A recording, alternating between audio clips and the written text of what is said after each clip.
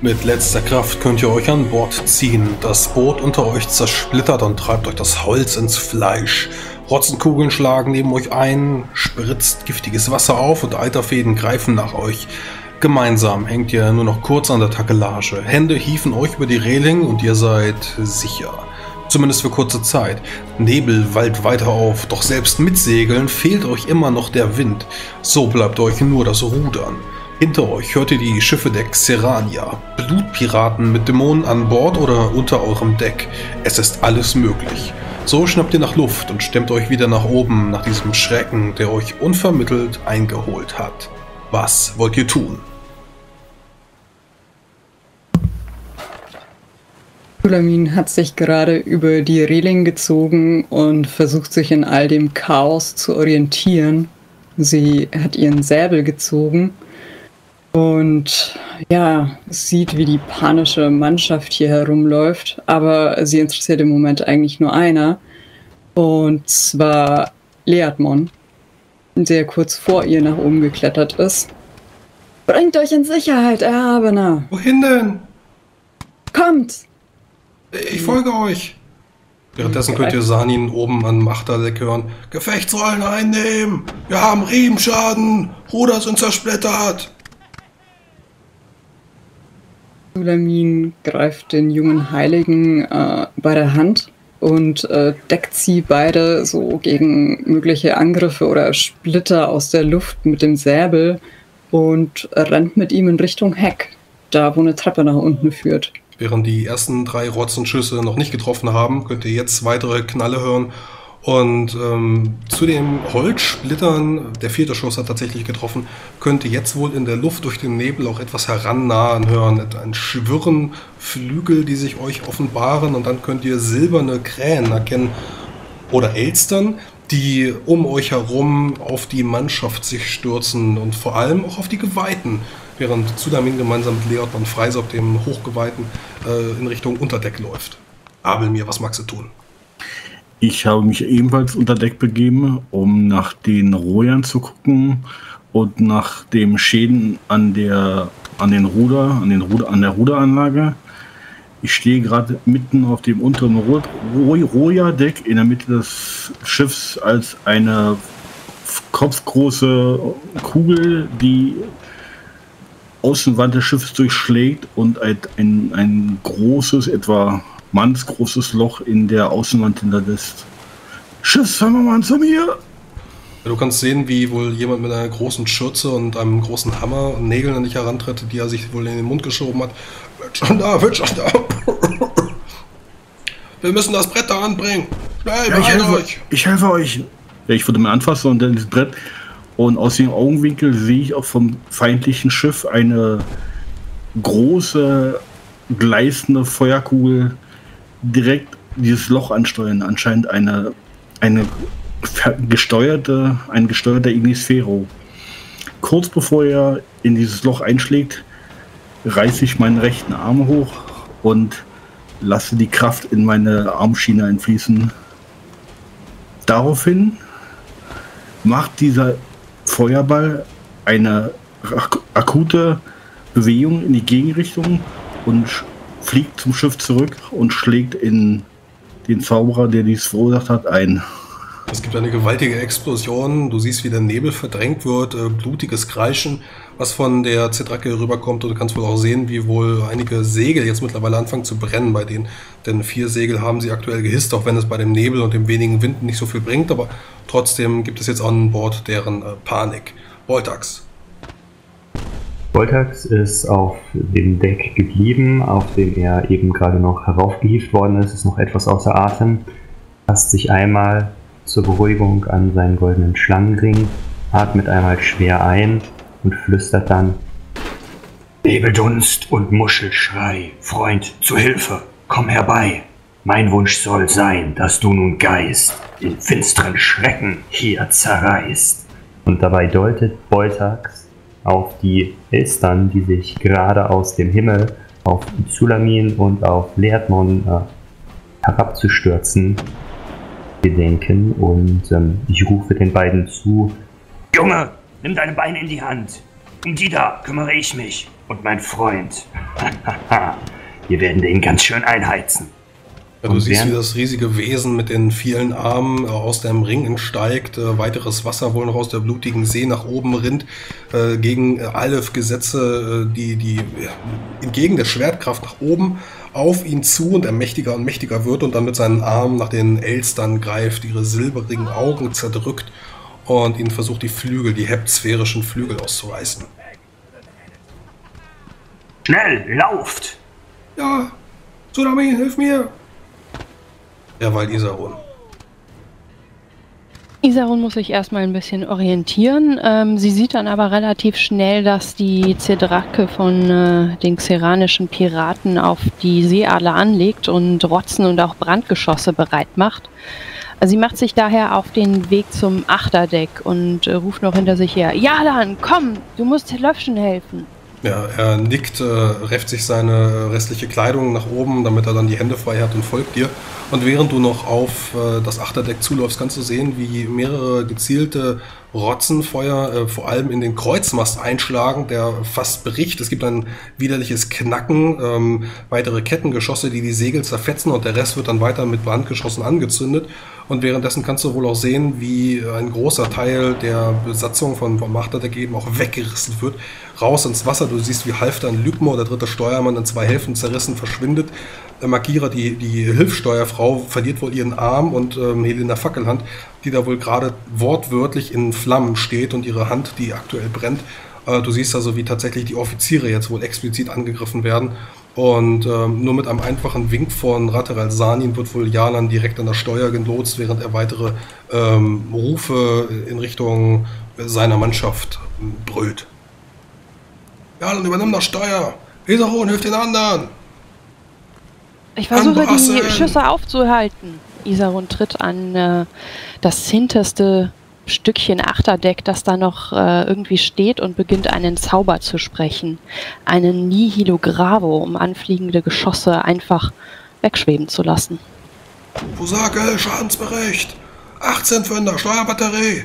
Scharfschützen ins Krähennest! Währenddessen, ja, äh, Sanin brüllt, wie ein Offizier es ebenso tut, wie ein herausragender Kapitän. Eintrag ins Logbuch, Feindkontakt mit Xeran um fünf Glasen. Du würfelst und du wirkst die Matrix und kannst sehen, wie wohl die Schwerkraft außer Kraft gesetzt wird. Ähm, und ein weiteres Rotzengeschüss, was wohl wieder einmal auf das Achterdeck angelegt hat, was dann allerdings ein bisschen die Orientierung verliert, anfängt zu trudeln und dann nach oben schwebt. Sehr gut, Isaron. Weiter! Derweil Barafim. Ja, Rafim hätte erst nochmal Leo mal hinterher geschaut, aber der scheint in Sicherheit zu sein. Reißt sich sein Schwert vom Rücken. Los, ihr Hunde, wo sind sie? Der Mitleidlose will Blut. Und würde sich dann auf den erstbesten Dämon, Dämon, Tentakel oder was auch immer sich an Deck traut stürzen. Du kannst also sehen, du kannst sehen, wie wohl Fusakel gerade aus dem äh, großen Magazin heraus äh, gerannt kommt. Er hat wohl eine, eine kleinen Streitkolben in der Hand, äh, der auf seine, äh, auf seine Größe angepasst ist. Und du kannst erkennen, wie er da wohl gerade in einem, es ist kein Ringkampf, aber in einem, in einem Geraufe ist mit einem großen, ist es ein Wiesel? Du bist dir nicht ganz sicher. Es ist ein, ein, auf alle Fälle ein Dämon mit goldenen Augen, goldenen Hörnern, vier Stück an der Zahl. Es ist ein riesiger Otter, ungefähr genauso groß wie der Zwerg. Widerliche Viecher. Ja, Rafim würde einfach auf ihn zutreten und eins nach dem anderen versuchen zu köpfen. Ja, wie gesagt, nur ein Kopf, aber vier Hörner und äh, kannst dann erstmal den, den Gur, äh, den formenwanderischen Dämon, äh, dieses Otterwesen dann erstmal von ihm runterziehen und dann in einen Nahkampf mit dem Vielgehörten treten. Derweil bei Zulamin. Wenn wir die Treppe erreichen, ähm, drücke ich Leatmon meinen Opferdolch in die Hand und ähm, drücke ihn einmal kurz an mich. Es ist alles in Ordnung, Erhabener. Geht unter Deck. Brecht Ja. dreimal seinen Namen. Er wird euch einlassen. Herr Reiner lasst euch nicht im Stich. Es wird alles gut. Ich weiß, Keine ich weiß. Furcht. Passt auf euch auf. Er gibt ja einen äh, flüchtigen Kuss auf die Wange und äh, verschwindet dann. Dann lauft. Und Zulamin läuft selber jetzt hoch zum Offiziersdeck, weil sie gesehen hat, äh, dass es da nicht zum Besten steht und möchte da helfen. Ja, du rennst gerade die Treppen nach oben, kannst wohl sehen, noch wie Baron Wilbo Kernpotz versucht, äh, Helena Fackel anzulöschen. Äh, du siehst, wie ein blutiger äh, ja, der Steuer existiert wohl noch. Ja, dann steht gerade dran. Ähm, Pargold, der dritte Bordmagier, wird wohl gerade unter einem riesigen Balken vorgezerrt von, äh, von Dresovik Sturmtaucher, der da wohl auch irgendwie eingeklemmt zu sein scheint. Und während du versuchst zu helfen, du weißt gar nicht, was du als erstes tun musst, du siehst wohl noch Isarun, da verschwimmt deine Sicht und du siehst, wie ein riesiges brennendes Segel auf dich herniedergleitet. Aber mir. Ich stehe derweil unter Deck.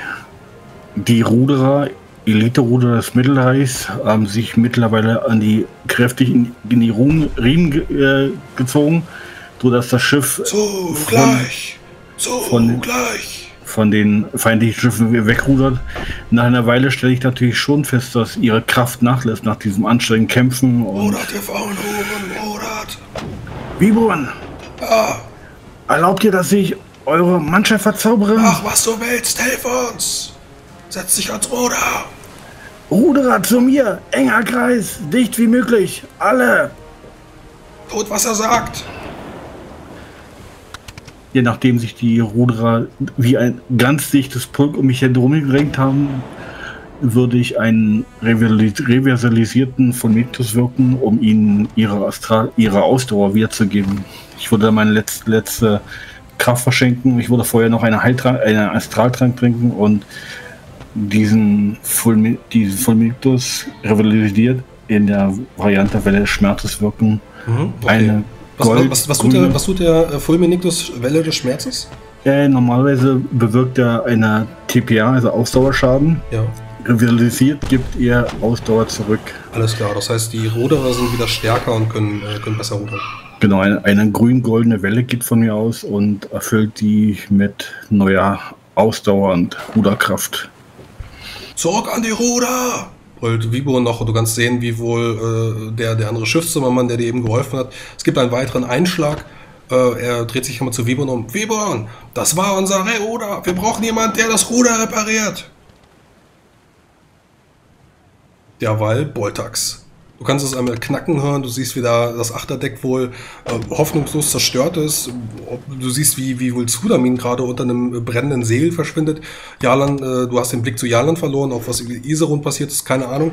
Und du willst wohl versuchen, gerade noch äh, das Achterdeck zu retten mit deinen Kräften, mit deinem dein Djinn-Freund, dein elementarer äh, Diener hat wohl gerade den, den Kampf gegen diese äh, Elstern aufgenommen. Da bricht und knackt unter dir das Deck. Du landest ein, äh, zwei, drei Meter unter dir auf dem Rosenboden und siehst, wie wohl jemand gerade die Hand reicht. Ja, äh, danke, danke. Ah, du, Zwerg, äh, du kannst dich gut mit, mit dem Holz auskennen? Ich brauch dich, komm mit. Alles gut, ja, ja, äh, klar, natürlich. Ja, er drückt dir zwei, drei Holzbretter entgegen und legt einen Hammer oben drauf. Komm mit, wir müssen zur Kombüse. Ja, äh, äh, ich bin nicht so, so schnell zu Fuß. Ja, er, er tritt die Tür auf. äh, Du kannst äh, wieder das vertraute Bild der äh, Kajüte erkennen, der Kombüse. Äh, irgendwelche brennenden Kessel, die Alchemisten, die da wohl irgendwas tun, irgendwelche Brandgeschosse gerade befüllen. Ähm, Der, der Mann, der, der erste Schiffszimmermann, klettert durch ein Fenster und äh, winkt dich damit nach draußen. Wir müssen das Ruder, es ist gerade zerschmettert. Ah, ja, ich hier ist auch ein Loch. Das ist ja. Huh. Hier, fang an. Ja. Riebenschaden. Matrose, äh, komm, komm herbei und bring mir noch etwas Scharfkantiges. Ich muss das hier fixieren. Oh, ja, äh, genau, genau, dieses Messer. Gebt es mir, schnell. Ja, das können wir hier zwischenklemmen. Das wird jetzt nicht für ewig halten, aber ja. Und da, da, da ist noch ein Loch. Äh, genau. Matrose, komm doch noch mal her. Jawohl, Ähm, Fusakel. Was? äh, bring, Äh, Mr. bring Lumpen. Lumpen und Teer, das brauchen wir. Sonst bricht Wasser ein. Wollt ihr, dass Wasser einbricht? Den haben wir hier. Wird gerade gekocht. Gut, gut. Sehr schön. Und nun, los. Holt alles. Schnell. Ja, du kannst sehen, wie mit vielen Handgriffen äh, die, die Gefechtsrollen sind eingenommen, die Leute reichen dann Kessel äh, über viele Hände in die, die eine Richtung, Holz, was dir angereicht wird, und neben dir Similian Greifenfurter, äh, der wohl neben dir auf der Planke sitzt und dann versucht, provisorisch im Nebel, während weitere Rotzen einschlagen, äh, versuchen jetzt irgendwie das ganze Schiff wieder manövrierfähig zu machen. Äh, du spürst so ein bisschen, wie die Gravitation fehlt. Du kannst es nicht ganz einordnen, aber du fühlst dich sehr luftig, leer, locker, leicht. Isa, Isarun hat gesehen, dass sehr, sehr viele, die hier in Achterdeck standen, ähm, Schaden genommen haben durch die Rotzenschüsse und auch die splitternden Holzteile, die Teile vom Mast, die heruntergeregnet sind. Ähm, sie wird jetzt helfen, alle Verletzten ähm, unter den Trümmern hervorzuziehen und ihre Wunden zu versorgen. Sie ist komplett im Soldatenmodus. Sie ist wieder wie in der Ausbildung damals an der Schwert und Stab, wie auch in der dritten Dämonenschlacht. Es zählt nur noch das Überleben. Sie macht mechanisch ihre Handgriffe und äh, bemüht sich so schnell wie möglich, alle Wunden so zu versorgen, dass das Überleben gewährleistet ist. Ja, Devil Rafim ist immer noch äh, dabei, diesen, diesen Otter nach und nach zu zerschlagen. Und äh, du siehst dann wohl auch, wie weitere von diesen Elstern, äh, diejenigen, die der elementare Geist wohl nicht aufhalten konnte, sich dann auch vor allem auf dich stürzen, da du Geweihter bist und damit eben präferiertes Ziel und dann eben auch einer derjenigen bist, die oberhalb äh, den, den Kampf gegen die Dämonen aufgenommen haben. So kannst du eine nach den anderen zerreißen, zerrupfen. Du siehst dann wohl, wie auch aus dem Unterdeck, vor allem aus dem Magazin, dann nicht nur dieser Otter hervorgewillt, sondern jetzt auch wohl mehrere Rasten, die sich äh, mit ihren kleinen, fiesen äh, Zähnchen an deinen Stiefeln äh, zerbeißen und äh, dann eben auch nach und nach äh, versuchen, durch deine Rüstung zu beißen. Eine nach dem anderen. Ja, Raffi würde gegen die Dämonen immer weiter nach vorne treten. Los, kämpft die Hunde! Wie ja, sieht denn der Rest du, vom Schiff aus? Äh, du guckst dich kurz um, äh, vor dir, über dir mittlerweile das Vordeck und vor allem dann noch der Mast dazu. Ähm, ist wohl gehisst ähm, und äh, ja, es, es flackert ein bisschen der Wind drinne. Äh, aber vor allem das Achterdeck ist halt hoffnungslos vernichtet. Der Kreuzmast ist äh, nicht gebrochen, aber äh, gesplittert an mehreren Stellen und das Segel ist brennt runtergefallen. Du kannst wohl auch erkennen, wie sich das Schiff unter dir so ein bisschen glucksend bewegt und wenn du dann an der Reling runter guckst, kannst du wohl auch sehen, wie zahlreich Wasser einströmt und ähm, dann eben auch Wasser ins Unterdeck läuft. Du bist ja nicht ganz sicher, ob es noch die, die Ruderbänke äh, erwischt hat, aber vor allem den Laderaum und dann eben auch das Unterdeck. Oh, scheiße. Ja, Raffi würde versuchen, sich irgendwie nach unten durchzukämpfen. Ja, du äh, gehst die Treppen runter, Treppen runter und ähm, ja, Abelmir hat versucht, äh, gerade eben den, den Rudern guten, guten Zuspruch zu leisten. Und während du dich gerade an eins der Ruder ransetzen willst, um selbst zu helfen oder um einen weiteren Zauber anzusetzen, du bist ja nicht ganz sicher, was du tun sollst, guckst dich so ein bisschen um. Das Loch wurde wohl von Similan Greifenfurter gerade gestopft und während du äh, es betrachtest, kannst du sehen, wie in Zeitlupe daneben ein weiteres Loch durch eine Rotzenkugel aufgerissen wird. Äh, alles in Zeitlupe, plötzlich hörst du nichts mehr, nur noch dumpfes Geräusch. Und während du dann einen stechenden Schmerz spürst, blickst du an dir herunter. Du siehst wohl, wie ein riesiger Splitter aus Holz in deinem Bauch steckt und deine Hände zittern, bluten, alles um dich herum wird warm und kalt gleichzeitig. Du hörst zwar Vibo noch rufen, aber du verstehst ihn nicht und er wird immer leiser und leiser und du brichst auf die Knie und bist weg. Ja, weil Zulamin. Verschwunden unter einem riesigen brennenden Segel, konntest dich gerade hervorkämpfen und äh, blickst dich um. Du weißt nicht genau, was passiert ist. Du weißt nicht genau, ob das Schiff noch irgendwie äh, ja, einen Zweck erfüllen kann. Äh, du blickst auf die Segel. Kreuzmast ist natürlich jetzt kaputt, aber wohl der, der mittlere Mast äh, vom, vom Hauptdeck funktioniert wohl hoffentlich noch. Äh, die Corvus-Plattform, du siehst, wie wohl weitere Scharfschützen im Krähennest sind und dann auf der anderen Seite wieder rüberschießen auf die Zidracken, auf die Talucken, die da euch im, im Nebel verfolgen. Aber die Matrosen sind gerade in heller Panik, vor allem diejenigen, die oben auf den Masten stehen. Du siehst, wie sie teilweise anfangen zu brennen. Einige sind wohl auch runtergestürzt auf die Planken. Äh, du siehst so auf den ersten Blick mindestens fünf Leute, die runtergestürzt sind und die anderen, die unten sind, sind in, in heller Aufregung und in heller Panik und ähm, haben wohl gerade den Kopf verloren. Ja, Zulamin hat sich irgendwie noch so halb unter den Segel weggeduckt. Aber äh, sie sieht wüst aus, also angesenkt und blutig und äh, Sie kämpft sich jetzt an den Überresten von dem Segel vorbei zu der beschädigten Brüstung der Kapitänsbrücke, von wo aus sie das ganze Schiff gut überblicken kann. Oh, Magier tot! Kannst du es von unten hören? Oh, das ist nicht gut. und äh, sieht dann da unten noch in so einer Ecke kauern einen von diesen äh, neuen Rekruten, einer von denen mit den Sammelkarten und äh, der ist einfach völlig überfordert mit der Situation. Er hat eine große Platzwunde auf seiner Stirn, äh, siehst wohl, wie ihm das, das Blut ins Auge läuft, äh, zwinkert die ganze Zeit, versucht es irgendwie wegzuwischen, aber es läuft immer mehr Blut nach. Er, guck, er guckt dich an, hast du ein Taschentuch? Hör auf zu winseln! Bete! Das ist alles, was uns jetzt noch retten kann. Und Zulamin äh, zieht jetzt auch den zweiten Säbel noch und stellt sich da an die Brüstung und hebt beide Säbel zum Himmel. Ihre Augen sind ins Innere des Kopfes verdreht. Sie wirkt irgendwie völlig irre und fängt an zu beten. Ihr Götter, steht uns bei. Rahandra, Sturmkönigin, fülle unsere Segel mit Wind und unsere Herzen mit Mut. Effert, leidenschaftlicher, halte deine schützende Hand über dieses Schiff und seine Besatzung und zerschmettere die Schiffe der Dämonenanbeter an den Klippen. Raja, Liebe meines Lebens, wende den Gläubigen an Bord dieses Schiffes Zuversicht und gewähre ihnen gnädig ein Zeichen deiner Gunst. Lass sie sehen, was ich weiß, was ich weiß, seit jeher und mit jeder Faser meines Körpers, dass du uns liebst und uns niemals im Stich lassen wirst. Frohlocket, ihr Gläubigen, denn dieses Schiff wird nicht sinken. Nicht, solange wir alle unser Bestes geben und fest auf die Götter vertrauen. Es sei! Und aus dem Schaum der blutigen See erheben sich Pferde. Pferde aus weißer Gischt, schnaubend, prustend, donnernd. Eine ganze Herde.